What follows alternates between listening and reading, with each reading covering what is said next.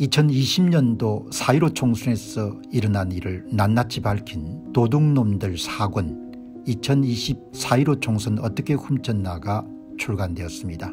이미 발간된 도둑놈들 1권 선거 어떻게 훔쳤나 도둑놈들 2권 2022년 대선 어떻게 훔쳤나 도둑놈들 3권 2022년 대선 무슨 짓을 했나에 이어서 네 번째 발간된 책입니다. 여러분께서 구매해 주시고 주변에 널리 알려주셔서 선거 공정성 회복을 위한 노력에 힘을 대해 주시기 바랍니다. 감사합니다. 안녕하십니까 공병호TV의 공병호입니다. 여러분 마침내 송영길 전 민주당 당대표가 자진해서 검찰에 출두를 했습니다. 근데 일반적인 그런 자진 출두라기보다도 셀프 출석 혹은 셀프 출두 뭐 이렇게 표현하는 것이 더 적합한 그런 표현이 아닌가라는 그런 생각을 하게 됩니다. 제 기억에는 이렇게 검찰이 부르지 않았는데 불구하고 송영길 전 당대표처럼 자기가 일정을 정해서 검찰에 출두하는 그런 경우는 기억에 없습니다. 여러분은 기억에 있으신지 궁금합니다.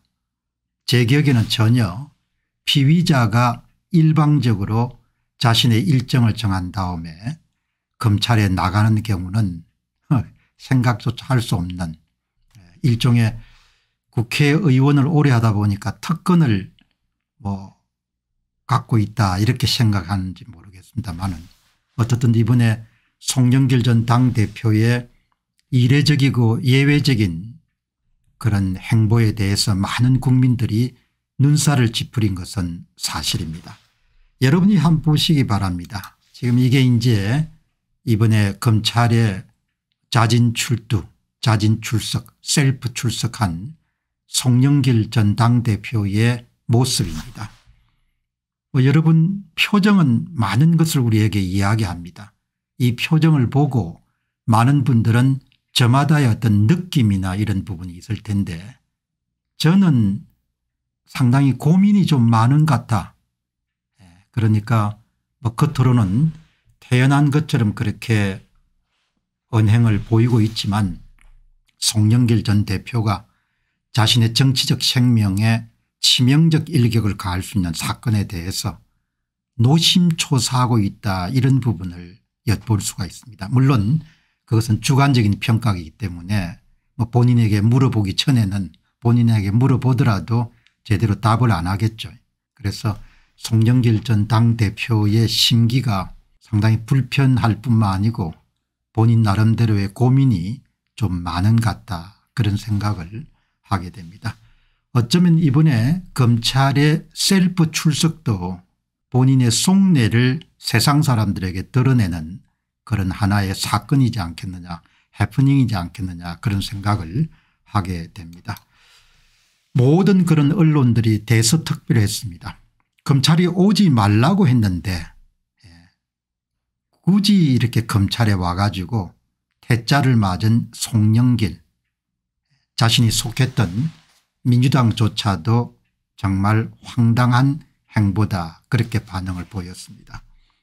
2021년 전당대회 돈봉투 살포 사건으로 검찰의 수사선상에 오른 지금 이제 피의자 신분이죠. 출국 금지를 당했으니까 송영길 전 더불어당 민주당 대표가 검찰에 아무런 그런 상의 없이 출두했지만 청사 출입이 거절된 채 규탄 기자회견만 열고 돌아갔다. 예. 이렇게 이야기를 우리가 할 수 있을 것 같습니다.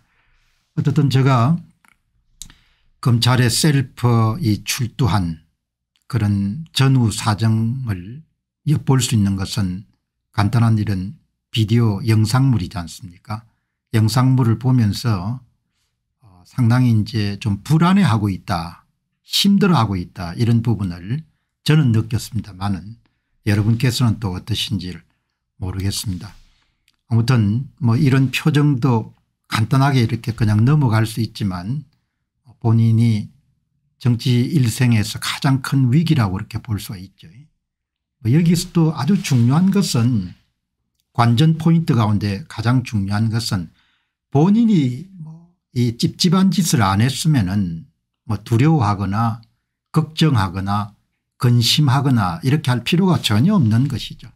본인이 뭐 그런 일에 직접 간접으로 관여되지 않았으면 그런데 이런 검찰에 셀프 여러분들 출석을 한다든지 이런 여러 가지 정황 그리고 검찰청사에서 보이는 그런 언어적 행동 비언어적 행동 이런 것을 보게 되면 은 본인이 완전히 이번 사건과 무관하지 않을 수도 있다 이런 생각을 하게 됩니다.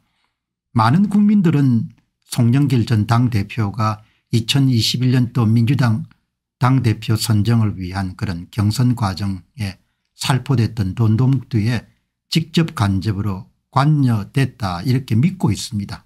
대다수 사람들이. 그렇지만 그것은 엄격한 증거와 그리고 수사 과정을 통해서 밝혀져야 될 일이죠. 예.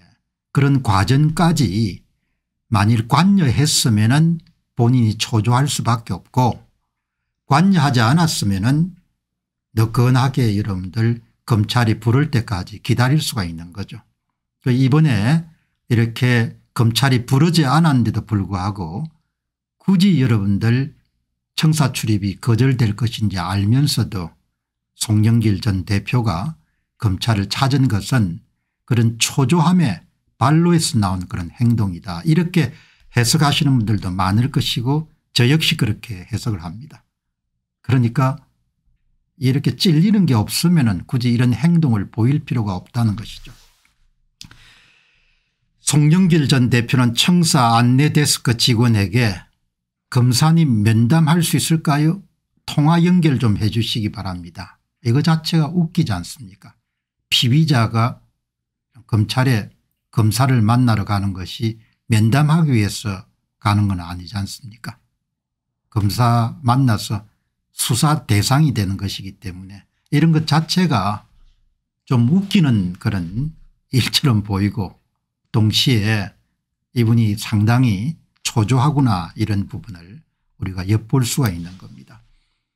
예, 그리고 이제 그 다음에 25분간 10분 정도 자신의 입장문을 그렇게 발표하고 아주 장문의 입장문입니다. 그리고 이제 25분간 기자들과의 질의응답에서도 일관되게 송영길 전 당대표의 주장은 이것은 정치적 기획수사고 이중으로 벌리는 별건 수사이기 때문에 이것은 뭐 정말 좋지 않은 그런 검찰의 관행이 지금 반복되고 있다. 주위 사람들을 괴롭히지 말고 예, 송영기를 구속해 주기를 바란다. 죄가 없는데 어떻게 구속합니까 그 본인도 뭐 찔리는 게 있는 모양이죠. 예, 검찰이 뭐 아무나 구속하는 그런 기관은 아니지 않습니까 자 그런데 이제 여기서 중요한 것은 기자가 25분간 진행됐던 기자회견에서 묻습니다. 정말 돈봉투 사건을 모르느냐 예, 거기에 대해서는 직답은 피합니다. 돈봉투 살포 자체가 있었는지 없었는지를 알 수 없었다는 것이잖아요. 기자들의 그런 그 질문에 대해서 검찰 수사를 통해서 대응하고 기소되면 법정에서 다투겠다. 잘 알다시피 송영길 전 당대표는 사법고시를 통과한 율사 출신의 정치인입니다. 그렇기 때문에 본인이 이런 기자회견에서 어떻게 발언해야 되고 어떤 선을 분명히 넘어서 안 된다는 것을 알기 때문에 뭐 본인이 전혀 잘못한 게 없거나 이렇게 되면은 그 자리에서 당연히 기자들 함께 당당하게 이야기해야 되는 것이죠. 돈봉투 사건에 대해서는 일체 아는 바가 없다. 나는 무죄다. 이렇게 이야기해야 되는 거죠. 그러나 거기에 대한 확정적인 답은 전혀 하지 않았습니다. 여기서 이제 여러 이제 반응들을 신문이 전하는데 이 한 초선 민주당 의원 이야기입니다. 본인 입장에서 흔쾌하게 밝힐 게 아니면 로키로 가는 게 맞다고 봅니다. 이해되지가 않습니다. 아주 정확한 표현입니다. 본인이 돈봉투 살포 사건에 무관하게 되면 단호하게 나는 돈봉투 사건에 대해서 일체 모르는 일이다. 이렇게 명쾌하게 입장을 정리해야 되고 그것을 그렇게 밝힐 입장이 아니란 이야기는 다르게 이야기하면 본인이 어느 정도인지는 모르겠지만 어떻든 아래 사람들이 돈봉투 사건에 연루된 것을 본인이 알고 있다는 것이죠.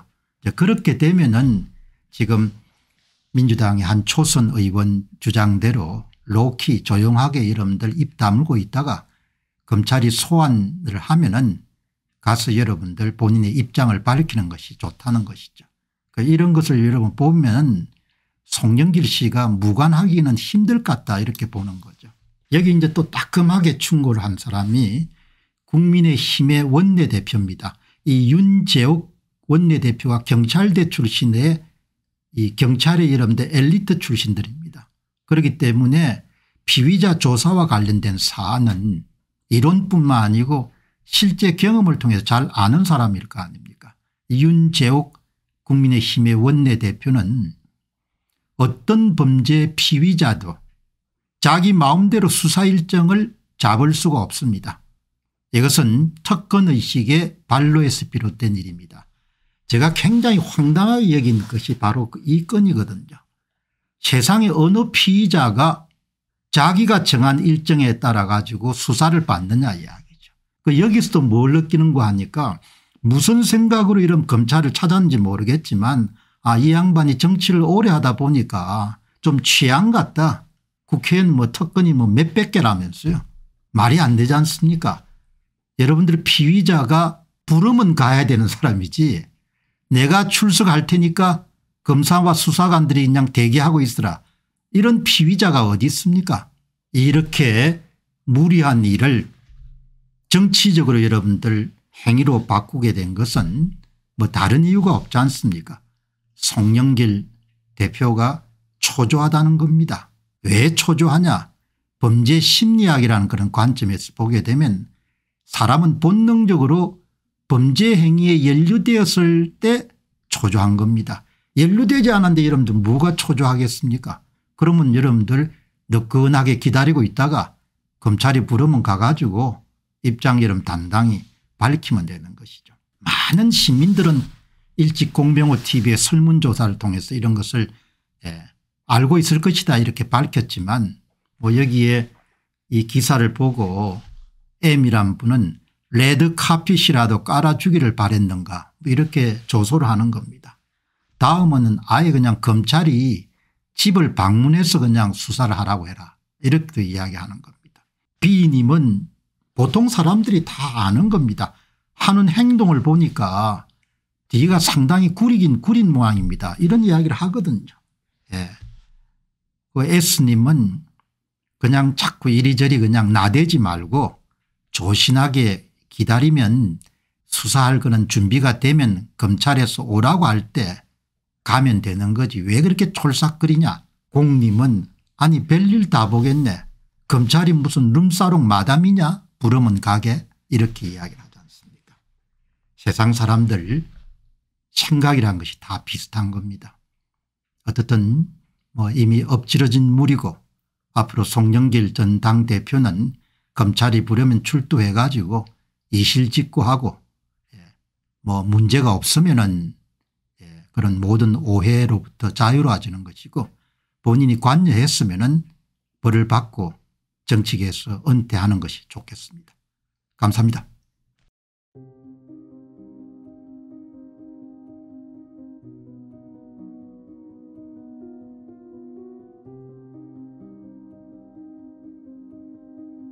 안녕하십니까 공병호입니다. 여러분 살다 살다 별일도 다 있다 이런 이야기가 있지 않습니까 이번에 송영길 전 민주당 당대표가 자신이 정한 일정에 따라서 검찰에 출석해서 자신을 조사해달라 이런 사건을 보면서 참 희한한 일이고 희한한 사람이다 이렇게 생각을 하신 분들이 저만이 아닐 것입니다. 사실 여러분도 아시다시피 뭐 이것은 있을 수가 없는 일이지 않습니까 검찰의 셀프 출석이라는 것은 뭐 그냥 한 표현을 사용하게 되면 살다 살다 별일도 다 본다. 이렇게 표현할 수가 있을 것 같습니다. 어느 피의자가 수사 일정을 스스로 정하는 법이 어디에 있습니까? 있을 수 없는 일이지 않습니까? 그것도 사법고시를 통과해서 스스로 법을 잘 알고 있는 송영길 전 당대표가 이와 같은 일을 한다는 것은 뭐 이번 수사도 정치적 그런 이벤트로 바꾸어서 법적으로 뿐만 아니고 다른 경로로 아마 대응을 할 것이다. 이런 것을 예고한다 이렇게도 볼 수 있는 것이죠. 예. 어느 피해자도 법 앞에 모두 평등하고 피의자는 검찰에 소환이 있을 때만 여러분 출석을 하는 것이 관행이고 또 법리적으로 맞는 일일 것입니다. 그래서 제가 좀 이상한가 싶어 가지고 설문조사를 한번 해봤습니다. 검찰 송영길의 셀프 출석 거부 청사 로비에서 돌려보내다. 중앙일보 5월 2일자 기사. 검찰의 셀프 출석. 처음 들어보는 일인데 여러분은 어떻게 생각하십니까?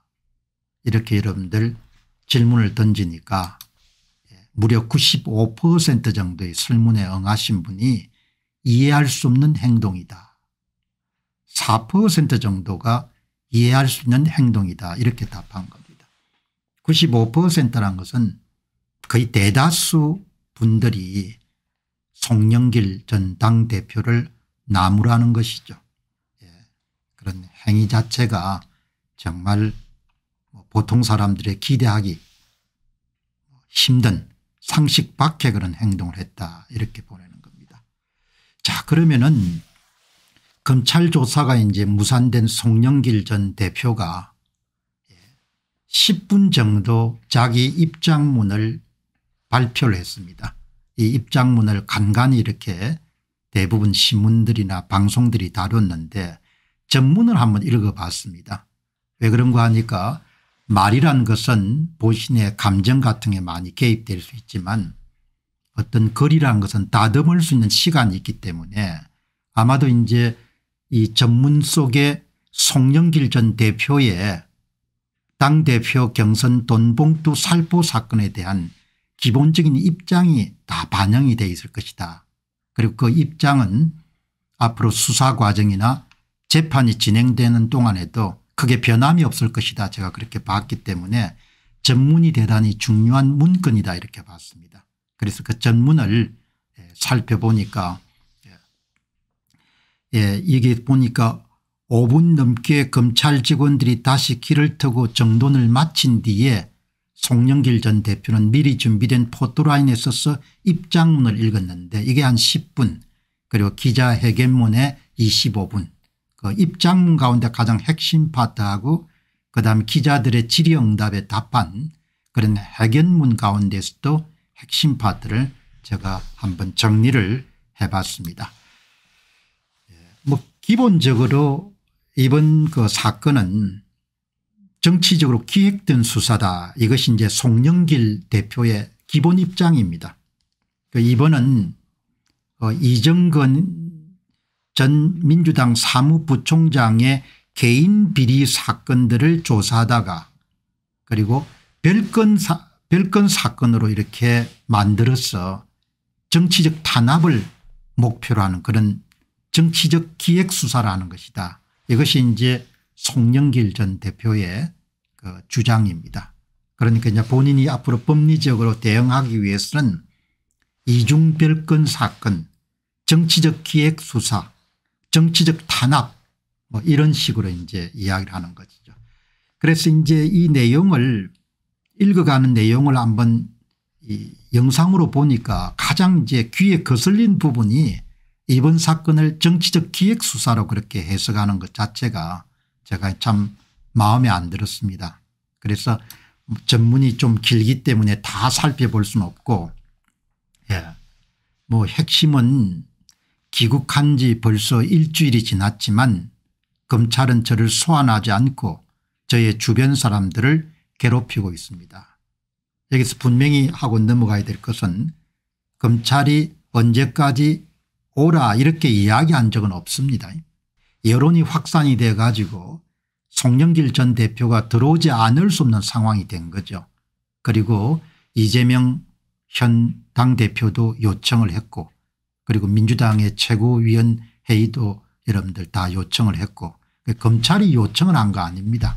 그 검찰도 일정이 있을 거 아닙니까 송영길 전 대표를 부르면 피자로 부르게 되면 늘 부를 수가 없기 때문에 다른 주변 조사를 다 마친 다음에 결정적인 부분을 확인하기 위해서 송영길 전 당대표를 부를 거 아닙니까 그러니까 개국한 지 벌써 일주일이 됐는데 검찰이 안 부르고 주변 사람들만 괴롭힌다 이런 주장 자체가 잘못됐다는 겁니다. 주변 사람을 괴롭히는 것이 아니고 가장 거물을 소환하기 전에 주변의 관계자들을 다 불러서 사건의 전모를 파악하는 것이 검찰의 수사기법이지 않습니까 여기서 또참 귀에 거슬렸습니다. 여기서 이런 중요한 것은 송영길 전 대표가 민주당 당대표 경선 돈봉투 사건에 직접 간접으로 연결돼 있느냐 불법 행위에 관여했느냐가 문제지 다른 것은 다 여러분 사족입니다. 다른 것은 다 장식에 불과한 겁니다. 그런데 입장문 발표할 때 제가 입장문을 별도로 방송에서 한번 다루겠다고 생각한 것은 입장문을 발표할 때 제기에 굉장히 거슬린 것은 자기 변호 자기 옹호를 어떻게 했는가 하니까 저는 당대표도 그만두고 국회의원도 사표 내고 다음 총선 불출마 선언도 하고 교수가 돼서 파리에서 열심히 연구 강의를 하고 있는데 2년 전 일을 소환하여 서울중앙지검 부패수사 2부 7명 모든 검사가 총동원되어 정치적 기획수사를 하는 것은 해도 너무한 일이 아닌가요 과유불급이라고 생각합니다. 이 부분에 제가 그냥 예 딱 귀가 꽂힌 겁니다. 송영길 전 당대표가 당대표를 그만두고선 개인적인 문제고 국회의원을 사표를 낸 것은 개인적인 문제고 다음 총선에 불출마 선언하도 개인적인 문제고 개인적인 의사결정입니다. 교수가 돼서 파리에서 열심히 연구 강연 개인적인 문제고 2년 전에 이런, 이런 일어난 일은 개인적인 문제인 겁니다. 이 모든 것은 자기 입에서 나올 필요가 없는 겁니다. 이번 사건의 핵심은 본인이 돈봉투 사건에 관련되어 있다는 것을 암시하는 예시하는 녹취 내용이 이정근 씨의 3만 개의 파일에서 나왔기 때문에 수사에 들어가게 된 겁니다. 정치적 기획수사가 아닌 거죠. 그 여기서 이런 저는 좀 놀란 게 아니 법률을 공부한 사람이 내가 당대표를 그만둔 거하고 수사하는 게 뭐가 여러분들 관련성이 있습니까 국회의원 사표 낸 거하고 여러분들 뭐가 관련이 있죠 총선 불출마하는 거 여러분들 수사하는 거 뭐가 관련이 있죠. 범죄 사실에 대한 부분을 수사하는 거지 이런 것은 이야기할 필요가 없는 겁니다. 이렇게 징징거릴 필요가 없다는 이야기죠. 내 이야기가. 그래서 별도로 여러분들이 입장문을 한번 살펴본 겁니다. 이번 사건이 정치적 기획수사라는 지적을 피하기 위해서는 이정근 개인 비리 사건에서 별건 수사에 송영길 주변에 대한 이중 별건 수사라는 탈법 행위를 중단해야 됩니다. 탈법 행위가 아니지 않습니까 이정근 파일을 여러분들 하다 보니까 돈을 받았는데 그 돈이 이정근이 다 먹은 게 아니고 그것이 어디로 흘러간 거 아닙니까 흘러간 것을 추적하다 보니까 녹취록에 송영길이라는 이름이 나온 거 아닙니까 그러니까 수사에 들어간 거죠. 무리한 별건 수사가 아니란 겁니다. 물론 검찰의 별건 수사는 좀 악명이 높지만 이번 사건은 자연적으로 돈의 흐름을 추적하다 보니까 돈이 여러분 그쪽으로 흘러갔으니까 수사를 하게 된 거죠. 이제 기자회견에서는 다른 부분은 뭐 그렇게 크게 중요하지 않은 것 같고 기자가 소환 통보를 안 했는데 자진 출석한 이유가 뭡니까 이렇게 물은 거 아닙니까 뭐 이것저것 이야기했는데 마지막입니다. 검찰이 하는 이야기는 이중별건 수사로 봅니다. 이정근 개인 비리 사건을 수사하다가 녹취 파일 발견된 게 아닙니까 사건과 관련 없는 녹취를 변호사와 본인 입회 없이 누출했다면 이거는 뭐 이렇게 들어가면 안 되는 거죠. JTBC가 한 걸 가지고 이야기한 거죠. 2년 전 전당대회가 끝나고 제가 정치도 안 하는데 절 소환해서 기획수사를 한다는 게 이해하기 힘듭니다. 거듭 말씀드리지만 송영길 전 대표가 다음 총선에 출마하든 안 하든 그건 관계없는 겁니다. 예. 그리고 본인이 교수를 하건 그것도 관계없는 것이고 본인이 앞으로 정치를 더 안 하겠다면 관계없는 겁니다. 2년 전에 여러분들 사건이 이미 법적으로 시한이 이름 남아있기 때문에 그게 불법 정치자금과 관련된 사건이기 때문에 수사가 들어가는 겁니다. 그리고 그렇게 경솔하게 움직일 필요가 없는 거죠. 좀 초조하더라도 뭐 정치인들 포카페이스 많이 쓰지 않습니까 예.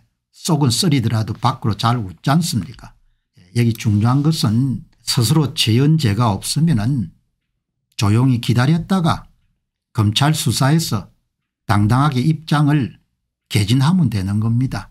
그걸 참을 수 없는 겁니다. 그 비언어적 행위인 거죠. 참을 수 없다는 겁니다.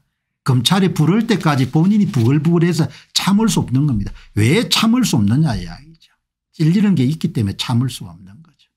이번에 검찰에 출두한 그 얼굴들 보고 표정 보고 이렇게 여러분들 관례 전혀 없는 피의자가 이런 검찰에 마음대로 일정 정해서 나가가지고 수사해달라 면담해달라 뭐 이렇게 이야기하는 것은 이미 본인이 마인드 컨트롤에서 패배했다고 그렇게 생각하는 겁니다. 이번 것을 보면서 아, 제 양반이 뭘 많이 알고 있었던 모양이다 이렇게 생각하는 국민들이 많을 겁니다.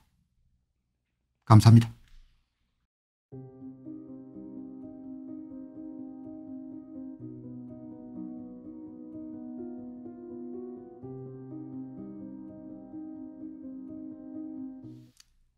안녕하십니까 공평호입니다.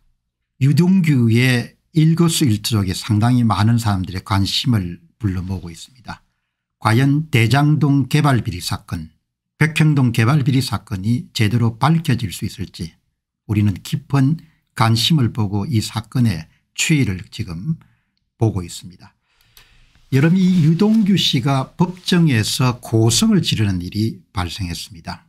이것은 단순하게 개인적인 문제가 아니고 이 사건의 추이를 전망해 보는데 상당히 중요한 의미를 갖고 있기 때문에 유동규는 정말 지금 상황에서 상대방이 계속해서 유동규를 거짓말쟁이로 이렇게 몰아붙이는 것에 대해서 무척 화가 나 있는 그런 상황입니다. 그럼에도 불구하고 소송이라는 것이 굉장히 지루한 게임입니다.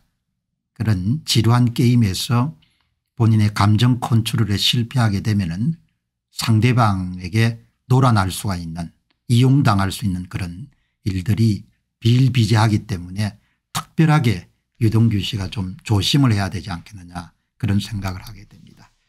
여러분 이 법정에서 이번에 유동규 전 성남도시개발공사 기획본부장이 고성 높은 그런 소리로 따지게 된 것은 바로 그 대상인 정진상 씨 때문입니다. 정진상 씨는 그야말로 예, 일체 처음부터 앞으로도 끝날까지 본인에게 중형이 선고되더라도 자기는 모르는 바다 이렇게 묵빈권 내지 뭐 어떤 종류로도 이재명 당대표에게 해가 될 수 있는 일은 일체하지 않을 그런 인물입니다. 이 같은 일은 이미 공병호 tv를 통해서 제가 여러 번 말씀드린 적이 있습니다. 이런 부분을 유동규 전 성남도시개발공사 기획본부장이 잘 이해하고 장기전에 대비를 해야 될 것입니다. 그리고 과연 백평동 개발 비리라든지 대장동 개발 비리 위례 신도시 개발 비리 성남FC 후원금 그런 사건들이 제대로 밝혀져서 관련자들이 처벌을 받을 수 있을 것인가 이런 부분에 대해서도 많은 국민들은 그것을 너무나 당연하게 여기지만 예, 그러나 그것이 그렇게 끝나지 않을 수도 있다. 정치적 사건으로 그냥 완전히 그냥 둔갑될 수도 있다. 이런 부분에 대해서 우리가 좀 유의할 필요가 있지 않겠느냐 그런 생각을 하게 됩니다. 여러분들 지금 보시게 되면은 이번 그 대장동 개발비리 사건이나 백형동 개발비리 사건 같은 걸 보면은 소위 사람이 어떻게 행동하는가라는 부분에 대해서 정말 많은 것을 우리에게 보여주고 있습니다. 여기에 가장 좌측에 있는 화천대 대유의 대주주인 김만배 씨 마지막까지 입을 안 열 겁니다. 예. 죽었다 깨어나더라도 입을 안 열 인물입니다. 예. 그다음에 두 번째 있는 정진상 씨 아마 죽었다 깨어나도 정진상 씨도 이재명 당대표에게 해가 되는 일은 일치하지 않을 겁니다. 예. 이 사람들은 이재명의 정치적 여러분들 그런 경력을 보호하는 것이 본인들이 살 길이다 이렇게 확신하고 있는 인물이고 그럴 가능성이 높다고 생각하는 사람들입니다. 그야말로 미래에 대해서 베팅을 하는데 이재명의 부활에 대해서 베팅을 세게 하는 인물이 김만배 정진상 씨입니다. 이렇게 여러분들 모든 사건의 실체가 밝혀진 상황에서 이 여러분들 다섯 명이 다 다른 선택을 하는 겁니다. 그 다음에 중앙에 있는 김용전 민주연구원 부원장 예. 마지막까지 안 밝힐 겁니다. 마지막까지 여러분들 일체 이재명과 관련된 불리한 일은 예, 밝히지 않을 사람입니다. 그러니까 왼쪽에 세 사람은 이재명을 보호하기 위해서 모든 노력들을 다할 겁니다. 설령 본인들이 중형에 취하자더라도 예, 그런 것은 전혀 개의치 않을 겁니다. 그러니까 왼쪽에 있는 세 명 김만배 정진상 김용 씨는 우리 일반인들이 대부분 기대할 수 있는 그런 그와 다른 인간 유행인 거죠. 예, 아주 특별한 사람들입니다. 그러니까 예를 들면은 뭐 비유를 하자면은 공상주의자가 돼 가지고 마지막까지 여러분들 전향하지 않고 북한으로 가는 그런 사람들 있지 않습니까 예, 그렇게 확신범들인 거죠. 절대 여러분들 안 밝힐 겁니다. 그래서 뭐 예를 들면은 예, 그 대법관의 재판거래 의혹 그러니까 이재명 씨의 정치적 생명을 부활시킨 그런 사건들을 밝혀질 가능성이 상당히 낮은 거죠. 김만배가 입을 다물 테니까. 여기서 이제 오른쪽에 있는 두 사람 남욱 씨 유동규 씨는 뭐 거의 제가 볼 때는 정상적인 그런 우리가 시중에서 많이 만날 수 있는 사람입니다. 아마 이제 범죄 수익과 관련된 부분을 다 환수당하고 나면은 남욱 씨도 참 생활이 어려울 정도가 될 겁니다. 여기 보시게 되면 1700 정도가 남았지만 검찰이 이런 그 범죄 수익에 대한 부분을 다 파악하고 있는 상태에서 본인이 얼마나 훔쳐 예, 숨겨놨는지 모르겠지만 쉽지가 않을 것 같아요. 그러나 남욱 씨하고 유동규 씨는 검찰 수사 과정에서 상당히 잘 협조를 하고 있는 겁니다. 정상적인 사람들인 거죠. 확신범하고는 거리가 먼 겁니다. 이 세 명의 확신범이 있기 때문에 어쩌면 이재명 당대표가 보호를 받을 수가 있겠죠. 예, 재판이 길게 가면서 2024년도 총선에서 어떻든 본인들이 주특기를 이용해 가지고 선거에 이기거나 근사한 정도로 여당이 힘을 못 쓰는 정도까지 만들게 되면은 그럼 뭐 그 다음엔 정치 사건이 되는 거니까 정치 사건이 되고 그 다음에 한국의 지금 법원의 형편이란 것이 뭐 어떻게 판결이 나올 수는 모르는 거죠. 1심 2심 대법관까지 가면은 선거 무효소송 판결 내리는 걸 보게 되면 뭐 사실이나 진실은 별로 중요하지 않지 않습니까 예. 이런 이야기를 들으시면 화내시는 분들이 계시겠지만 그냥 있는 그대로로 이야기하는 그런 가능성이 있다는 것이고 어떻든 간에 유동규 씨가 대당동 재판에서 자기 집에서 뇌물을 받은 것을 끝까지 여러분들 침묵하는 정진상 씨에게 이렇게 해서 되겠어 이렇게 따진 겁니다. 그러니까 어느 집을 방문해서 뇌물을 주더라도 자기가 사는 집이 아니면 은 그 구조를 정확하게 알기가 힘들지 않습니까 그러니까 이제 변호인들이 그 구조를 설명하는 과정에서 약간의 그런 차이가 있고 하면은 정진상 책을 옹호하는 변호인들이 거짓말쟁이로 이렇게 몰아붙이는 겁니다. 그것도 상대방을 갈구는 거죠. 화를 내도록. 그 변호인들이 유동규 씨의 진술이 일관성이 없고 거짓말에 가깝다 이렇게 몰아붙이니까 유동규 씨가 정진상 씨에게 억울함과 분노를 터뜨린 거죠. 당신이 돈을 받았는데 왜 안 받았다고 하냐 당신 집에 가서 내가 돈을 2억 4천만 원 줬잖아 뭐 이런 식으로 이야기를 하는데 그러나 법정에서는 굉장히 냉정하게 그렇게 대처를 해야 되는 거죠. 유동규 씨는 상세하게 이날 법정에서도 대장동 수익금의 사용처 전달 과정 등을 상세하게 설명을 합니다. 뭐. 예. 비닐은 뭘 썼고 가방은 뭘 썼고 노끈은 뭘 썼고 예. 그런데 이제 이쪽은 완전히 거짓말쟁이로 몰아야 되니까 유동규 씨를 앞으로도 더 심해질 겁니다. 예. 거짓말쟁이로 몰아야 되니까 당시 상황을 믿음직하게 연출하기 위해서 예. 주작한 것이 아니냐 조작을 뜻하는 인터넷 용어입니다. 그렇게 몰아붙이는 거짓말쟁이로 몰아붙이는 것 외에는 지금 다른 방법이 없습니까 유동규 씨를 정신이 나간 친구로 몰아붙이는 것 외에는 다른 방법이 없지 않습니까 그 변호인이 유동규 씨의 거짓말이 탄로나 진술이 무너질 위기에 처했다 이렇게 그냥 갈구는 겁니다. 우리 표현에 갈군다는 표현이 있지 않습니까 그러자 이제 유동규 씨가 발끈한 거죠. 그것은 모독이다. 왜 모, 모욕하느냐 전진상 씨 이렇게 해서 되겠어 이렇게 고함쳤지만 예, 변호인하고 정진상 씨는 또 잘 협의를 했겠죠. 상대방이 갈구어 가지고 화를 내더라도 일체 반응을 안 보이는 겁니다. 계속 거짓말쟁이를 모르겠죠. 그런데 이제 또 하나 특이한 점은 유동규 씨가 겉으로는 좀 멀쩡하게 그렇게 보이는데 이번 사건 때문에 상당히 힘든 모양이에요. 기자가 한 문장으로 표현했는데 유동규 씨가 이날 재판 말미에 건강 이상을 호소하면서 공판은 예정보다 일찍 끝났다. 변호인이 정진상 씨에게 돈을 전달할 때 사용한 비닐의 종류를 묻자 유동규 씨는 마음이 너무 아프다고 울먹이기도 했다. 그러니까 허우대는 이렇게 굉장히 좀 멀쩡한데 멘탈이 그렇게 강한 게 아닌 것 같죠. 유동규 씨가. 그러나 상대방은 뭐 거의 철강 수준인 겁니다. 김만배 씨 유동규 저 정진상 씨 김용 씨.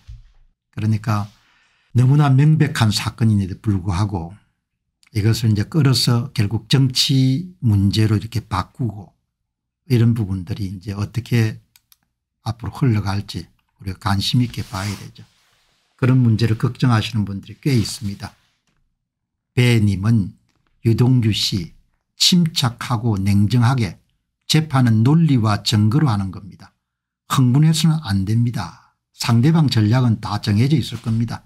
김만배 씨와 정진상 씨와 김용 씨는 끝까지 입을 탐구하고 변호인들이 유동규 씨나 남욱 씨나 이런 사람들을 거짓말쟁이로 모는 그런 쪽으로 나가겠죠. 팬님은 유동규 씨가 억울하고 배신감이 들겠지만 흥분하면 안 되고 차분하게 마인드 컨트롤 해야 됩니다. 상대방들은 굉장히 무서운 사람들입니다. 표정 하나 안 바꾸고 거짓말하는 사람들을 상대하려면 평정심을 유지해야 됩니다. 예, 이게 굉장히 중요한 포인트인 거죠. 예, 악이 절대로 평범하지 않지 않습니까 예, 앞으로 얼마나 계속될지 시루하게 계속될 그런 재판에서 누가 승자가 될지는 뭐 아직 그렇게 예단하는 일은 그렇게 쉽지가 않은 것 같습니다.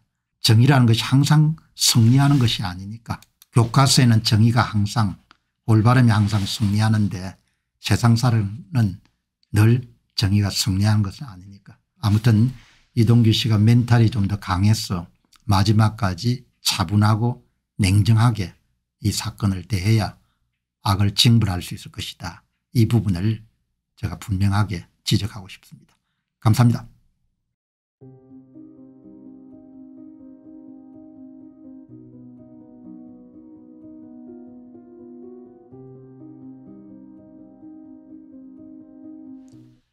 안녕하십니까 공병호입니다. 여러분 중독이라는 것이 참 겁나지 않습니까 예, 오늘 도박 중독 문제를 한번 다뤄보도록 하겠습니다. 이게 도박 중독은 단순히 도박 문제뿐만 아니고 뭐 그다음에 카지노라든지 그다음에 약물들 음식물도 마찬가지죠. 예.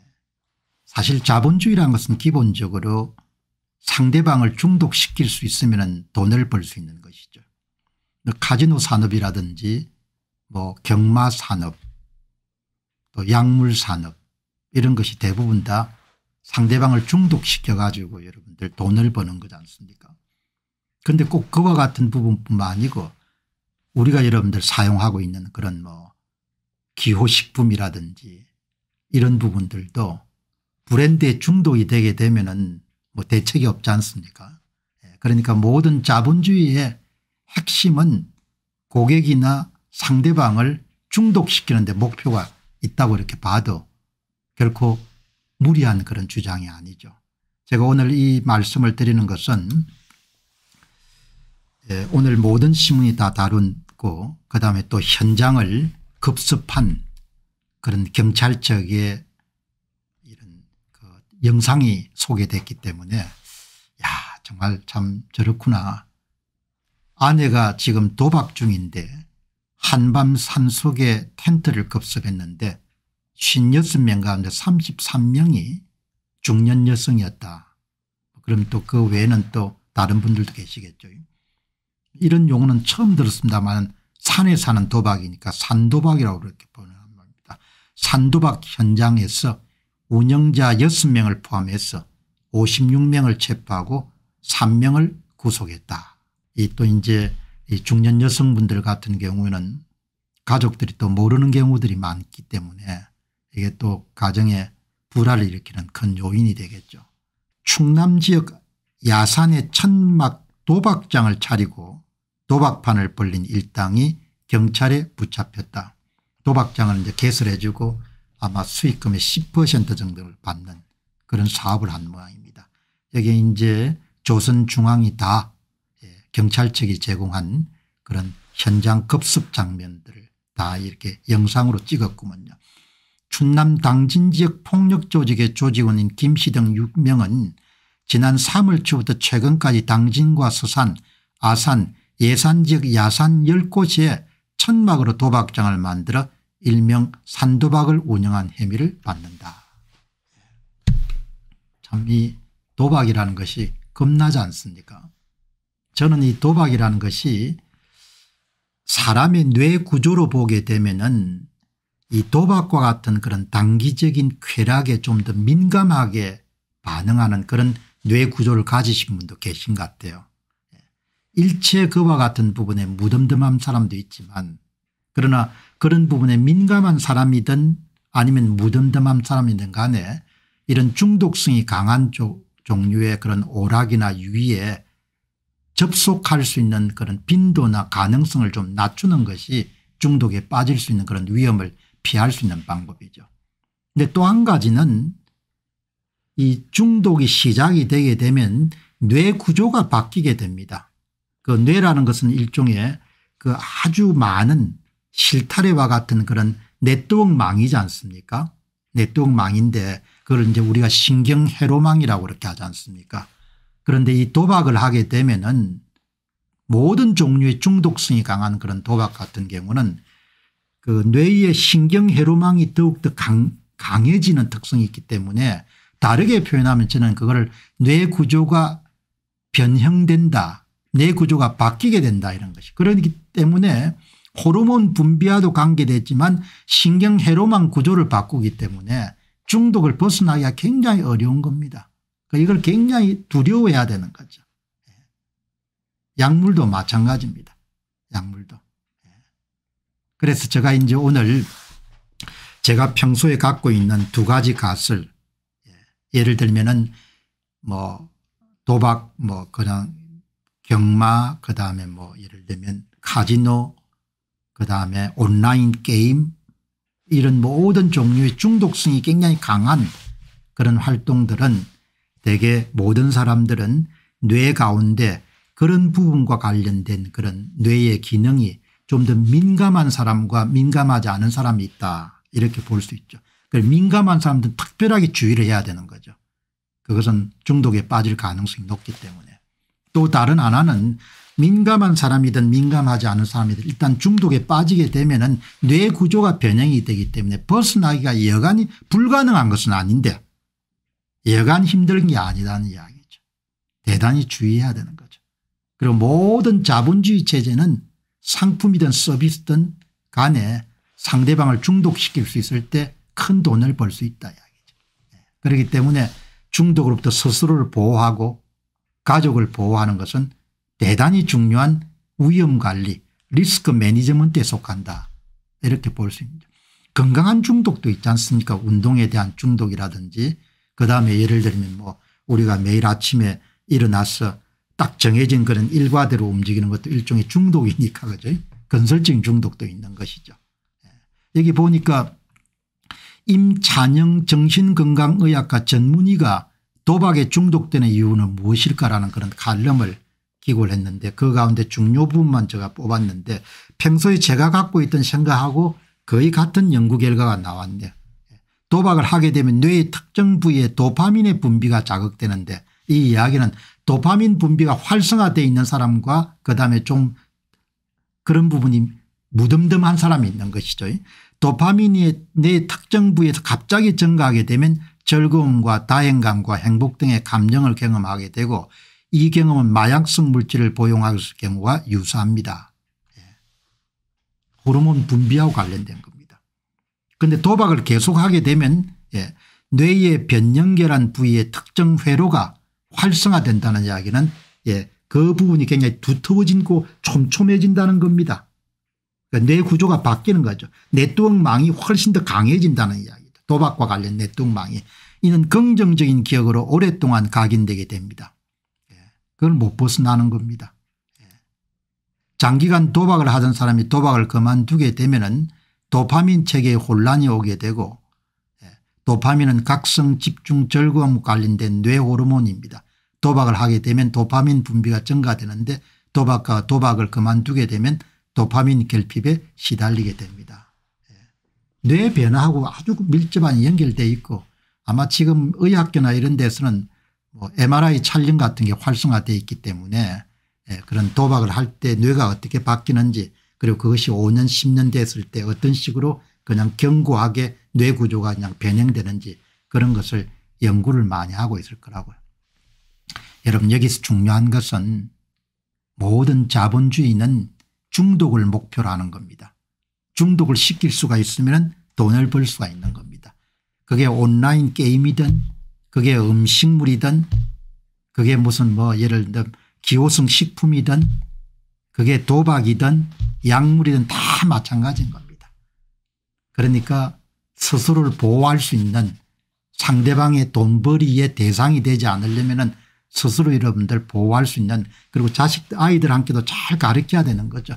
상대방의 이런 돈벌이의 그런 수단이나 도구로 자기가 되지 않으려면 자료를 여러분 한번 찾아보니까 이게 여러분들 글로벌 카지노 정가 추세입니다. 이게 가장 밑에 짙은 색은 북미 미국하고 이름 캐나다고 그 위에 이름 약간 옅은 보라색은 유럽입니다. 그리고 그 위에 푸른색은 아시아고 그 다음에 이름 맨 위에 이름들 색은 라틴 아메리카입니다. 증가율이 2016년부터 2027년까지 연평균 성장률이 14.9%가 성장하네요. 그 얼마나 돈벌이가 잘 되겠습니까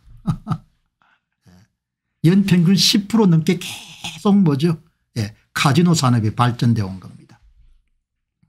전 세계적으로 북미 아시아 유럽 관계없이 그만큼 인간 여러분들 본성을 착하게 겨냥한 예. 그걸 산업이 이렇게 카지노 산업인 거죠. 예. 가파르게 이름 성장한 겁니다. 이거는 여러분들 온라인 게임 예.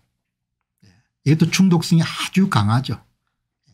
우리나라는 또 온라인 게임을 가지고 부자 되신 분들이 많지 않습니까 북미 시장에서 온라인 게임의 시장 규모가 얼마나 확장되어 있느냐 이 짙은 초록색이 미국입니다. 여러분이 보시기에도 가파르게 여러분들 증가하죠. 그리고 여러분 그다음에 푸른색이 캐나다입니다. 연평균 성장률이 20%입니다.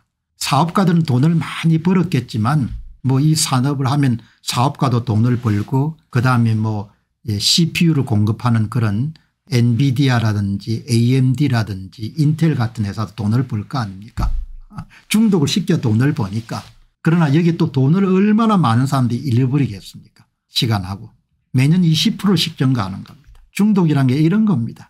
예. 그다음에 이 통계를 보니까 미국에서의 온라인 게임 시장입니다. 미국에 예. 여기는 맨 밑에 짙은 색은 스포츠 여러분들 배팅 스포츠 도박이죠. 그 위에 이런 푸른색은 카지노 그다음에 여러분들 위에 약간 옅은 색은 포카 그다음에 여러분들 위에 옅은 보라색은 빙고 그다음에 다른 색이요.